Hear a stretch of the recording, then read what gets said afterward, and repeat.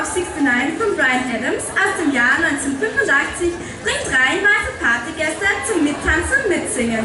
Das Lied erzählt von der Jugend, der besten Zeit des Lebens, der ersten Liebe und der Freundschaft.